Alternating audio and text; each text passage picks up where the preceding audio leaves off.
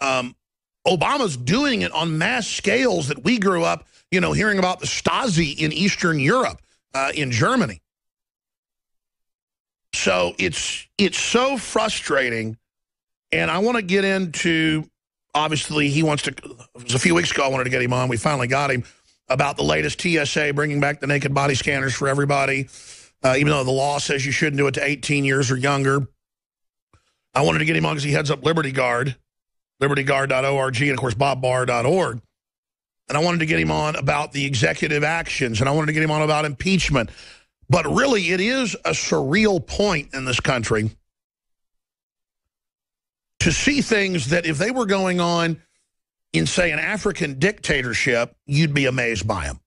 I, I mean, it's it makes these African dictators that get caught buying 100 Lamborghinis look like good guys. It makes corrupt Eastern European systems look tame. Because when America does it, it does it on such a big scale. And here's what's crazy. If you study criminology, you study history, you study trends, when something gets this corrupt, and it's the Republicans too, and it's the American people as well, it only gets worse. I mean, we've got basically really bad cancer. We're going to go to our guests for the balance of the hour, take your phone calls, you name it, cover the waterfront. But it is a paradox. We've still got some of the best, hardest working, most moral people in the world. We're still world leaders. We're still innovators, but off our old inertia. But we also lead the world in crime, drug use, obesity, uh, corruption. I mean, we really, the bigger they are, the harder they fall. And I just wonder now that crimes are committed nakedly, that Nixon would have been crucified for and should have been. And I just wonder what is next? What are they thinking? What are the Republican leaders doing? That's my filibuster, Congressman, uh, bobbarr.org. Thank you so much for coming on. I just wanted to set the table with that whole spinning constellation of weirdness. There's also a lot of good things happening, obviously, but you've got the floor now to cover any topic you want or go with any of those those points, sir. Well, thank you, Alex. Always great to be with you and your many, many listeners and viewers all across uh, the country, uh, because you have it pegged uh, precisely right. And that is, we remain, uh, as everybody knows, the world's greatest power, the greatest nation on the face of the earth.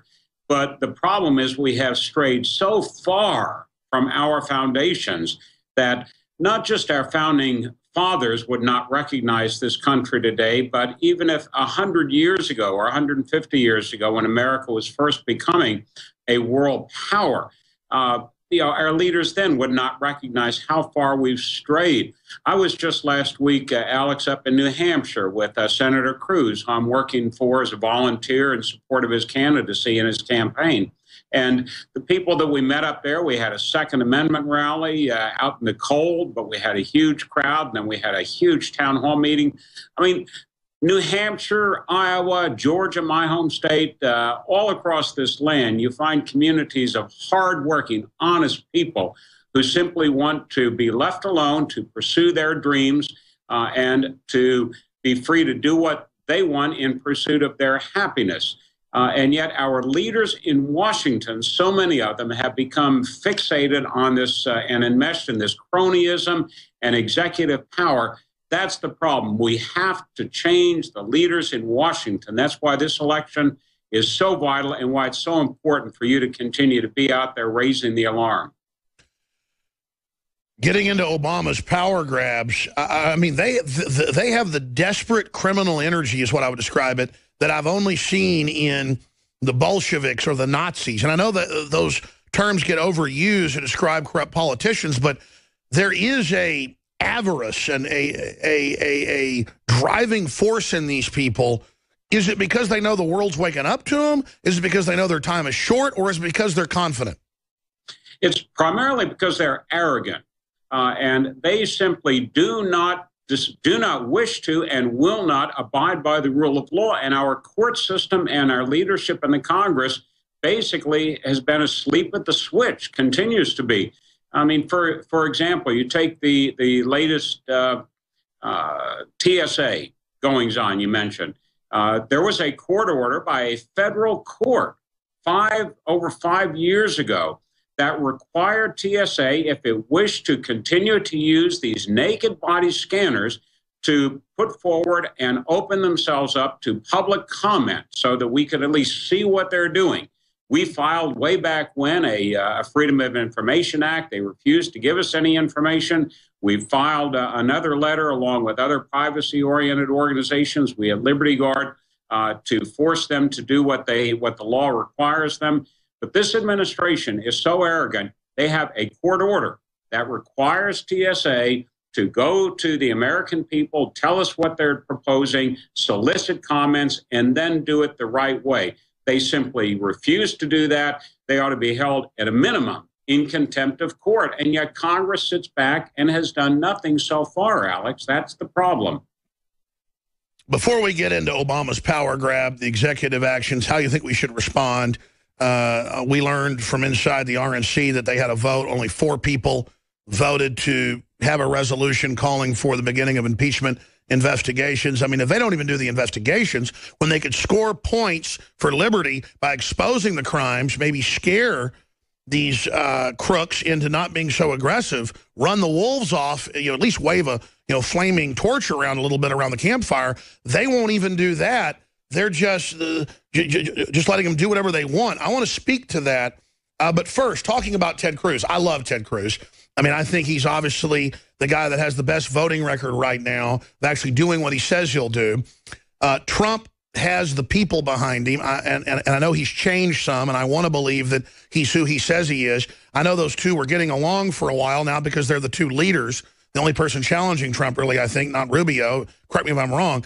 Uh, I just hate to see them start tearing each other up uh, because, you know, uh, obviously anything's better in my view than Hillary or a Bernie Sanders. What's your view on that, and why are you supporting Ted Cruz? I'm supporting Ted Cruz, uh, Alex, because far and above better than any of the other Republican candidates, and we have a very strong field. Uh, particularly as compared to the Democrat field, which is uh, you know, very, very weak and shallow. Uh, we have a very strong field, almost too many really good people uh, in there running this time, but alone among all of those candidates, Ted Cruz understands the importance of protecting individual liberty in all that government does. And that includes this notion of the most important duty of government being able being keeping us safe. Well, that's not quite true. The most important uh, function, most important responsibility of government is to protect liberty. Ted Cruz gets that. A lot of the other candidates, while they may be good on Second Amendment issues, they may be good on this, that, or the other thing, they they miss that fundamental principle that above all else, it is the responsibility of the federal government under our constitutional republic to protect liberty. He does that, he understands it, and he alone has been fighting for that in, in the Senate. That's what impresses me about Ted Cruz, I think, uh, Alex, more than anything else. Can you imagine how he would uh, mop the floor with Hillary Clinton in a debate? I'd love it. Man, uh, that, that would be worth uh, paying a high price for a ticket to uh, watch that debate. Speaking about politics, because it's, it's interesting, you were so ahead in the polls. I know the establishment came against you. How did you lose uh, your run for the House again? Well, uh, it was uh, it was it was an odd election year from that standpoint, and we're seeing, still seeing a little bit of that this cycle with the presidential race, Alex.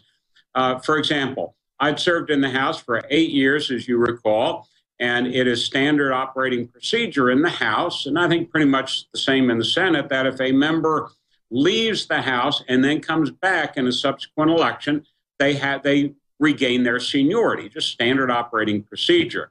Yet the mere fact that I had served in the House previously and would get my seniority back was somehow in that weird election year last last time in 2014 turned against me. And uh, my opponent, uh, who eventually won the seat, uh, painted me as a, part of the Republican establishment of all things. I mean, I was never part of the Republican establishment. Exactly. So we've got all these baby patriots, baby libertarians, conservatives just now getting involved. And so someone who's never been in Congress can say, look, he was in Congress. Don't, don't go with an insider. Let's kind of have term limits on Bob Barr, which is just, I mean, you were anything but establishment. Well, that's right. But, you know, uh, we continue to fight. Uh, I continue to fight just like you continue to fight for the Constitution, for individual liberty, and against the establishment. Because the establishment of full, is full of crony capitalists, uh, you know, and you know, some of the other candidates, Donald Trump, for example, I mean, he proudly says, basically, I'm, I'm a crony a capitalist. Uh, I pay money to whoever is in office so I can get favors from them. As long as we have people like that in public office who do not have the public good in, in, uh, in mind and front and center, we're going to continue to have these problems. You know, a lot of that, I think, is Trump putting out red meat. But when he does say things like, oh, don't worry, we'll just surveil so much they'll never attack us next time. We have the foreign intelligence. There's too much intelligence. They spy on everything. That's why they can't find the needle in the haystack, according to all the experts. It is, and, and, and it's about to get worse. Uh, Alex, as you know, uh, the Congress uh, slipped into the omnibus spending bill. Uh, always, always dangerous. Uh, anything that has the word omnibus in front of it, be very, very careful. But they passed that omnibus spending bill right at the end of uh, December, right before Christmas, as a matter of fact, and it it included a provision that was not debated. It was just slipped in there at the last minute. This cyber intelligence security uh, Act that uh, is going to make it even worse in terms of the amount of information that the government can scoop up and that it can get from private companies, and they'll have immunity from uh, from prosecution or from lawsuit for violating uh, our our privacy. Uh, all of this new information will be now made available to the government. Uh, and they can't, they don't even know what to do with all the information that they have right now, aside from the fact that it is an invasion of privacy.